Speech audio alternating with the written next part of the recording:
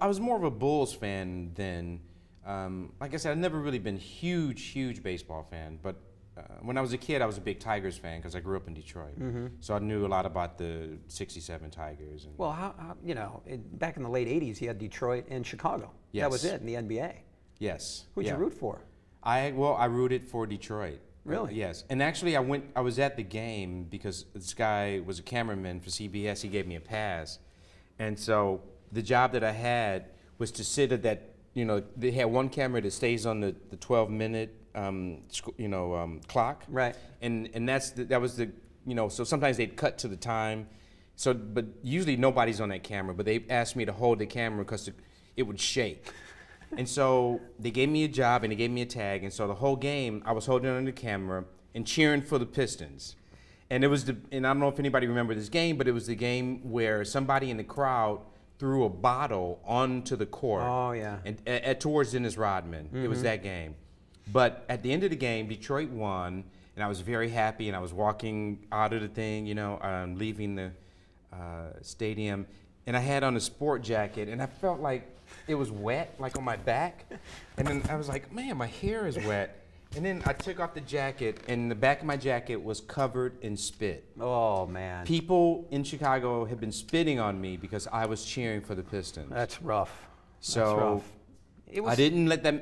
That didn't make me hate the city or become an anti-Bulls fan. But um, I'll never forget that people hated me that much.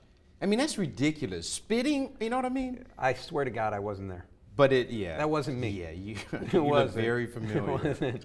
In '91, did you root for the Bulls?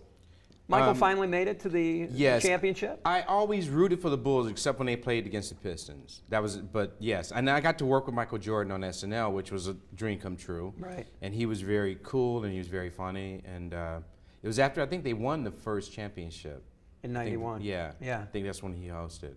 Um, so yeah, that was fun. No, back in '91, being a Pistons fan, when the Pistons walk off the court and they didn't shake their hands, didn't that bother you? No. It bothers me to this day. Well, what do you want to do about it? I'm not going to do anything. You want to throw down? You want? I mean, it, we- it, hey, I'm here. I ain't running. I'm a lover, not a fighter. All And you're the ladies' man. So. Yeah, that's true. Mm-hmm. But no, I, you know, I think they should not have sh- shook hands with. Come on, what- Everybody shakes hands. they're It's the bad boys. They're the bad boys. They don't. They're really like- bad. Yeah, they are. And then Rodman comes to the Bulls, uh, you know, a few Yeah. years later. Were And when- a, yeah. a, a Rodman fan? I am a Rodman fan. Yeah, he. I thought he. I was happy that he came here, and John Salley came here too and played. Mm-hmm.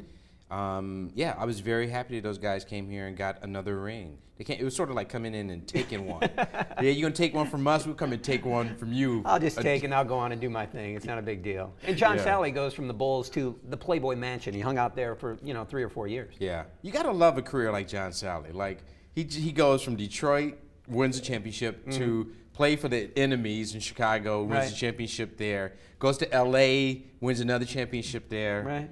And then like you know gets to hang out at Hefner's place, Right, and, you hanging out at the mansion with Hef. Yeah. And now he's on TV. Yeah, That's a good run for he's, him. he's doing. I like John. He's a really good guy. Yeah. How do we get on this? oh, you know what I wanted to say too. Yeah, My yeah. other sport connection to Chicago is my first son. I named after Isaiah Thomas. Really? who was a Chicago high school basketball player. Right, And absolutely. played for the Pistons. He had a rough run in New York. I don't. I didn't name him after that Isaiah.